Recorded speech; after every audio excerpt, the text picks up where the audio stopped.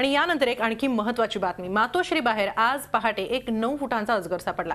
या अजगराला पकडून Shivaji park police ठाण्यात आणल्यानंतर ती बातमी कव्हर करण्यासाठी आमचे प्रतिनिधी दिनेश दुखंडे पोलीस ठाण्यात पोहोचले. हा अजगर कसा आला कुठून आला आणि त्याला कसं पकडण्यात आलं याबद्दल दिनेश दुखंडे रिपोर्टिंग करत होते. त्याचवेळी पोलिसांच्या हातात असलेल्या अजगरानं अचानक आमचे प्रतिनिधी दिनेश दुखंडे यांच्याच हाताचा चावा घेतला. बराच वेळ अजगरानं त्यांचा हात तोंडात पकडून ठेवला. पोलिसांनी अजगराच्या कसाट्यातून खूप प्रयत्नांनी दिनेश यांचा रक्ताळलेला हात सोडवला.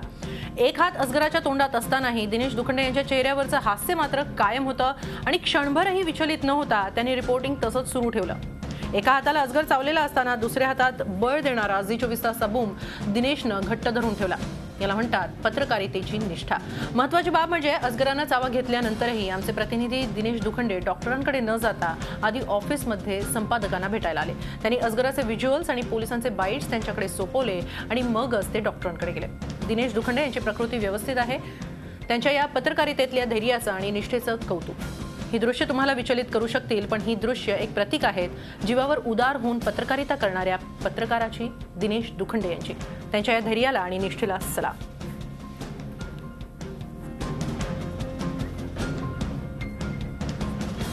ही घटना झाल्यानंतरही जे म्हणजे अजगराने त्यांच्या हाताचा चावा घेतल्यानंतरही दिनेश दुखंडे यांनी या बातमीचं रिपोर्टिंग कशा प- पद्धतीनं पूर्ण केलं ते आपण पाहूया. वांद्र्याच्या कलानगरमध्ये एक अजगर सापडलेला आहे. मुंबई पोलीस दलातले सर्पमित्र मुरलीधर जाधव यांनी हा अजगर पकडलेला आहे. आपण त्यांच्याकडूनच माहिती घेणार आहोत.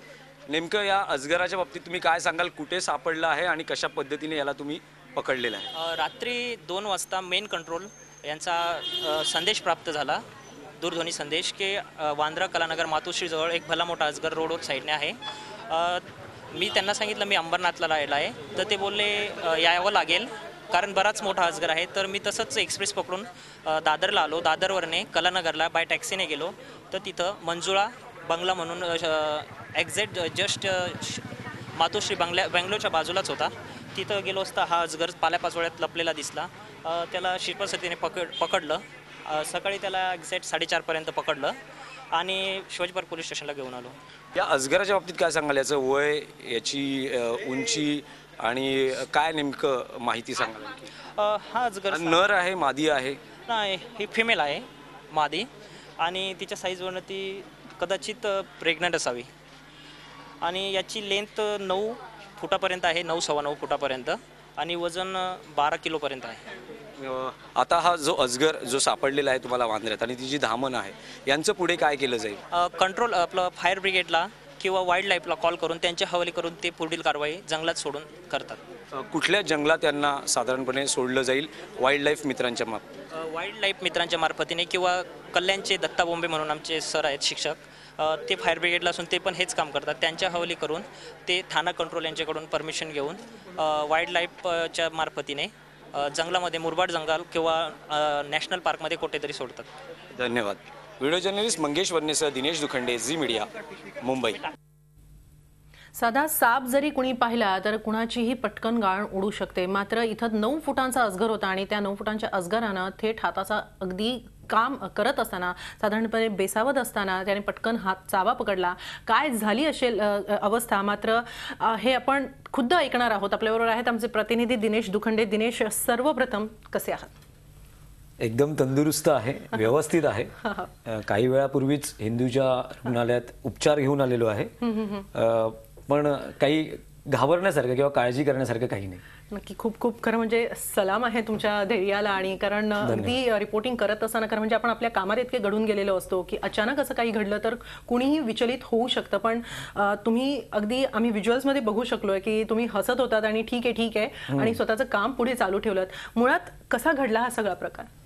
मी सुरुवातीपासून सांगेन की आज पहाटे साडेपाच वाजण्याच्या सुमारास मला शिवाजी पार्क पोलीस स्टेशन मधल्या काही माझ्या मित्रांकडून म्हणजे पत्रकारितेच्या भाषेत सोर्सकडून फोन आला की पाच वाजता पहाटे एक अजगर मातोश्री बंगला जो आहे त्याच्या बाहेर सापडलेला आहे.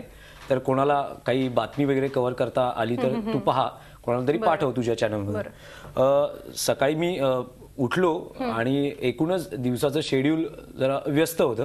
अ, ती बातमी थोडीशी डोक्यातून न- निघाली.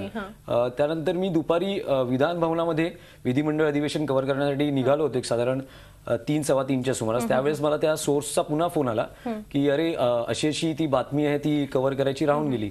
पण मला माहिती होतं की एकूणच म्हणजे महाराष्ट्राच्या राजकारणात मातोश्री कृष्णकुंज ठाकरे असं एखाद्या घटनेला जोडलं गेलं की त्याच्या बातमीचं वजन किंवा उंची वाढते ग्लॅमर प्राप्त होतं या सगळ्या आणि बातमीची प्रायोरिटी ही वाढते त्यामुळे मी पटकन ते लक्षात आल्यानंतर मी पुन्हा गाडीचं यू टर्न घेतला आणि मी शिवाजी पार्क पोलीस स्टेशनच्या दिशेने गेलो. तोपर्यंत माझ्या त्या सोर्सेसच्या माध्यमातून जे सगळे मित्र होते त्यांनी त्या अजगराला बाहेर आणलेलं. एक अजगर होता आणि एक धामण होती. अजगर हा मातोश्री बंगल्याच्या बाहेर सकाळी पहाटे म्हणजे पहाटे पाचच्या सुमारास तो सापडला होता. आणि धामण जी आहे ती कलिन्याला सापडली होती. तर ते सगळे आम्ही व्हिज्युअल्स मी आणि माझा कॅमेरामॅन मंगेश वन्ने ते सगळं आम्ही काम करत होतो. मी त्याला सांगत होतो की मला अशा पद्धतीचे व्हिज्युअल्स पाहिजे किंवा हा मोठा अजगर दिसतो आहे. खूपशा त्याला सूचना करत होतो आणि तोही व्यवस्थित ते सगळं काम करत होता. ते सर्व सुरू असताना पोलीस दलातलेही तिथे कर्मचारी होते. अनेक लोक बघायला आले होते. कारण एवढा मोठा अजगर आणि तोही मातोश्रीच्या बाहेर सापडतो. सगळेजण मोबाईलने त्याचं शूटिंग करत होते चौकशी करत होते काय चाललंय वगैरे. थोडी गर्दीही जमा झाली होती. मग काही वेळाने मग मी नेमकं कसं हे सगळं झालं यासाठी मी ते जे सर्पमित्र आहेत मुरलीधर जाधव ज्यांनी हा सर्प हा अजगर तिकडे पकडला. तर त्यांचा मी एक इंटरव्ह्यू करायला सुरुवात केली. इंटरव्ह्यू सुरुवातच झाल्यानंतर कदाचित तो खूप जड होता. दोघा तिघा पोलीस कर्मचाऱ्यांनी तो पकडला होता. मी सुरुवात केल्यानंतर मी त्यांच्याकडे गेलो जेव्हा जो बूम घेऊन टेलिव्हिजनचा. कदाचित थोडस मी त्यामध्ये त्यांना काही दोष देणार नाही कारण आम्ही मीही बेसावत होतो. ते पूर्णपणे त्यांच्या कंट्रोलमध्ये होते पण अचानक हा सगळा प्रकार घडला. आणि पुढे काय त्याने त्याचे दात माझ्या या डाव्या हातामध्ये आतमध्ये खुपले होते त्याने. आणि बराच वेळ ते होते आणि त्याचा सगळं माझं रक्तही वाहत. होतं. पण शेवटी कसं आहे की मी जर घाबरलो असतो किंवा काय तर काही म्हणून मी म्हटलं की आपण धीर सोडायचा नाही. त्याने ते काढले दात रक्त वाहत होतं फार. तिकडच्या एका नागरिकाने मला रुमाली दिला त्याने मी ते सगळं रक्त साफ केलं. आणि मग मी पुन्हा माझ्या रिपोर्टिंगला सुरुवात केली. मी पूर्ण तो सगळा इंटरव्ह्यू त्यांचा केला. आणि मग मी त्यांनी मला सर्व पोलीस कर्मचाऱ्यांनी सहकार्य केलं. ते मला वरती घेऊन गेले माझा हात स्वच्छ केला. जे मुरलीधर जाधव आहेत ते सर्प मित्र आहेत. त्यांनी सांगितलं की अजगर आहे. तुला काही जीवाला तुझ्या काही अपाय होणार नाही. पण आपण तुला तातडीने हॉस्पिटलला नेऊया. पण मी त्यांना सांगितलं की नको. मी पहिला ऑफिसला जातो. माझी बातमी फाईल करतो. त्यानंतर मी हॉस्पिटलला जाईन. त्यांनी मला पूर्ण सहकार्य केलं. हात वगैरे स्वच्छ करून घेतला. आणि मग मी ऑफिसला आलो. त्याआधी मी ऑफिसला येत असताना अ, माझे जे अ, संपादक आहेत त्यांना मी फोन केला डॉक्टर उदय निरुडकरांना की असं असं झालेलं आहे मला अजगरचा त्यांनी पहिलं मला सांगितलं की तू जा आणि पहिली ट्रीटमेंट घे. बरोबर आहे. हा, कारण त्यांना माझी खूप काळजी होती. त्यांनी मला नाही नाही बातमी आपण करूच पण तुझा जीव महत्त्वाचा आहे तुझी तब्येत महत्वाची आहे तू पहिली ट्रीटमेंट घे. पण मी म्हणालो नाही मी येणार ऑफिसला मी बातमी फाईल करणार. ते म्हणाले मग तू आल्या आल्या पहिला मला भेट. मी त्यांना जाऊन भेटलो त्यांना झालेला प्रकार सांगितला. तोपर्यंत मी ती सगळी बातमी तयार करायलाही दिली होती. ती बातमी तयार झाली. त्यानंतर मग मी गेलो. नक्की नक्की नक्की पुढची कथा आणखी ऐकायची. मुळात एवढा अजगराने चावा घेतल्यानंतर सुद्धा ही बातमी करायचीच आहे. असं का तुम्हाला वाटलं? हेही आम्हाला तुमच्याकडून जाणून घ्यायचं आहे आज आमचे प्रतिनिधी दिनेश दुखंडे एक बातमी कव्हर करायला काय गेले आणि तिथं त्यांना एक वेगळाच अनुभव आला. ते म्हणजे अजगरानं त्यांचा चावा घेतला मात्र तरी सुद्धा न डगमगता अगदी धैर्यानं त्यांनी त्यांचं काम पूर्ण केलं ऑफिसला आले आणि त्यानंतर ते डॉक्टरांकडे गेले. याच विषयी आपण त्यांच्याशी बोलतो आहोत. आपल्याबरोबर आहेत दिनेश दुखंडे. दिनेश जेव्हा अजगराने चावा घेतला तेव्हा निश्चितच एक थोडासा धक्का बसतो की अरे हात पकडला गेलाय मात्र ते तुमच्या चेहऱ्यावर दिसलं नाही. हे एक विशेष अगदी हसत होतात तुम्ही. पण ते झाल्यानंतर सुद्धा असं का वाटलं तुम्हाला? म्हणजे काय वाटलं तुम्हाला की मी आधी माझं काम पूर्ण करतो ऑफिसला जातो आणि मग कारण उदय सरांनी तुम्हाला सांगितलं होतं की आधी डॉक्टरांकडे जा. तरी सुद्धा तुम्ही ऑफिसला आलात. नाही यासाठी मी एक गोष्ट जबाबदार मानेन की गेली दहा वर्ष मी पत्रकारित आहे दहा ते बारा वर्ष. माझा प्रिंट मीडियामधलाही अनुभव आहे इलेक्ट्रॉनिक मीडियामधलाही अनुभव आहे. बातमी ही माझ्यासाठी प्रायोरिटी आहे. बातमीसाठी माझी कमिटमेंट आहे. मी राजकीय पत्रकारिता करतो. प्रिंटमध्ये असतानाही मी शिवसेना भाजप हे दोन बीट कव्हर करतो. मी इलेक्ट्रॉनिकमध्ये असतानाही शिवसेना आणि मनसे. स्थापनेपासून मनसेही कव्हर करतो आहे. शिवसेना आणि मनसे हे दोन बीट कव्हर करताना अत्यंत एक आव्हान असतं की यांची यांचा रस्त्यावरचा संघर्ष असतो. कारण ज्या पद्धतीने हे राजकीय प्रतिस्पर्धी आहेत अनेकदा हाणामारीची घटना असेल किंवा दोन ग्रुपमध्ये झालेल्या मारामाऱ्या असतील असे अनेक थरार किंवा राजकीय एकूणच पत्रकारितेतले जे थरार आहेत तेही कव्हर करताना बातमी ही फार महत्वाची असते. माझ्या चॅनलला ही बातमी पहिली गेली पाहिजे. माझ्या बात चॅनलकडे ही बातमी एक्सक्लुझिव्ह असली पाहिजे. यासाठी मी खूप मेहनत घेतो. आणि त्या दृष्टीनेच हा प्रयत्न होता. ज्यावेळेस मला ही सर्व बातमी कळाली कदाचित मी सकाळी थोडासा ही घटना विसरलो पण ज्यावेळेस पुन्हा मला ती लक्षात आली त्यावेळेस मी तातडीने त्या घटनास्थळी गेलो ते सगळं कव्हर केलं. आणि ज्यावेळेस हा संपूर्ण प्रसंग घडला. त्यावेळेसही माझ्या मनात हे होतं की माझ्या चॅनलला एक आधी जावं. कारण ठीक आहे की सर्वच क्षेत्रात कॉम्पिटिशन स्पर्धा असं हे युग आहे. तर आपल्याला जर हे मिळालेलं आहे तर हे लवकर आपल्या ऑफिसपर्यंत पोचावं आणि ते लवकरात लवकर ऑन एअर जावं. आता जो काही पत्रकारितेचा एकूण माझ्या गौरव होतोय तो भाग वेगळा आहे.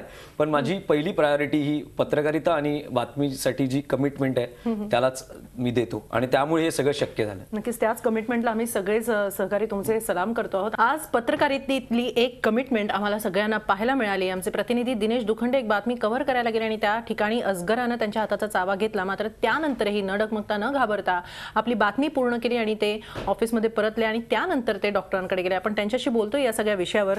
दिनेश आम्ही या सगळ्या व्हिज्युअल्समध्ये पाहू शकतो आहोत की जेव्हा तुम्ही रिपोर्टिंग करत होता तेव्हा सगळेजण अर्थातच त्या सगळ्यांचं लक्ष तुमच्याकडे होतं. आणि अचानक अजगरानं चावा घेतल्यानंतर सगळेच घाबरले. म्हणजे ज्यांनी पकडला होता त्यांनी सुद्धा चिंतेने भीतीनं त्यांना तुम्हाला सोडवण्याचा आधी सर्वात आधी प्रयत्न केला अर्थातच. पण इथं एक आणखी विचारावंसं वाटतं की साधी मुंगी जरी चावली तरी माणूस रिॲक्ट होतो. इथे तर अजगराने तुमचा हात पकडला होता. काहीच रिॲक्शन तुमच्या चेहऱ्यावर दिसली नाही. केवळ तुम्ही ठीक आहे ठीक आहे. आणि यू स्टार्टेड वर्किंग अ, नाही यासाठी या सर्व अ, घटनेसाठी किंवा माझ्या एकूणच अ, ज्या पद्धतीने मी त्यावेळेस जी मानसिकता दाखवली त्यासाठी मी एकाच गोष्टीला अ, म्हणजे महत्त्व देतो. ते म्हणजे बातमीशी असलेली कमिटमेंट किंवा अर्थात. पत्रकारितेत अ, कसं म्हणजे रिपोर्टिंग कसं महत्वाचं आहे किंवा या सगळ्या गोष्टी मी मी एक तर मुळात हे शौर्य मानत नाही. हा एक ही एक घटना होती प्रसंग होता. मीही बेसावत होतो. पोलीस कर्मचारी होते. त्यांनी आपलं काम व्यवस्थित करण्याचा त्यांनी पूर्ण प्रयत्न केला. त्यात त्यांचा काहीही दोष नव्हता. असा अचानक घडलेला हा प्रसंग होता. आणि या अचानक घडलेल्या प्रसंगामध्ये तुम्ही त्यावेळेस तुमची जबाबदारी आणि तुमचं मनोधैर्य जे असतं ते कमी होऊ न देणं ही सगळ्यात महत्वाची गोष्ट असते. आणि सगळ्यात महत्वाचं म्हणजे माझा जो व्हिडिओ जर्नलिस्ट होता मंगेश माझा जो चालक होता माझ्या शेजारीच उभा होता त्यांनीही मला लगेच सांभाळून घेतलं पोलीस कर्मचाऱ्यांनी सांभाळून घेतलं. जे तिकडे जी गर्दी होती त्या लोकांनी म्हणजे कुठेही म- मी असा डगमगणार नाही याची त्यांनी काळजी घेतली. त्यामुळे यांच्या मदतीने मी त्या ठिकाणी भक्कम उभा राहू शकलो. आणि सगळ्यात महत्वाचं माझी संस्था ही पुढे राहिली पाहिजे आणि याचं कव्हरेज झालं पाहिजे आणि ते आपल्या चॅनलला व्यवस्थित आलं पाहिजे ही एक भावना होती आणि त्या भावनेतून हे सगळं घडलं असं मला वाटतं. नक्कीच तुमच्या भावनेला खूप खूप सलाम आणि एकच. मला फक्त थोडक्यात अगदी गोष्ट सांगायची होती की ज्यावेळेस मी या घटनेनंतर रिपोर्टिंग केल्यानंतर मी हॉस्पिटलला गेलो. माझे व्हिडिओ जर्नलिस्ट ही माझ्यासोबत होते. माझा चालकही माझ्यासोबत होता. आणि सगळ्यात महत्वाचं माझे जे काही दादर मधले मित्र होते त्यांना जेव्हा ही घटना कळाली की असं असं झालेलं आहे ते माझ्या सोबत आले आणि त्यांनी हॉस्पिटलमध्ये उपचार सुरू असताना त्यांनी ती सगळी त्यांची जबाबदारी ओळखली. सगळे केस पेपर तयार करून घेणं डॉक्टरांना सांगणं वगैरे ह्या सगळ्या गोष्टी करून घेतल्या. त्यामुळे मी त्यांनाही थँक्स म्हणू इच्छितो. नक्कीच नक्कीच. आणि एक इतकं चा- धैर्य दाखवल्याबद्दल आणि मुळात तुमच्या या धैर्याला तुमच्या या कमिटमेंटला आम्हा सगळ्या सहकाऱ्यांकडून खूप खूप सलाम आहेत आणि इतकी इथं येऊन ही माहिती सगळी आमच्याशी शेअर केली. हा अनुभव शेअर केल्याबद्दल धन्यवाद.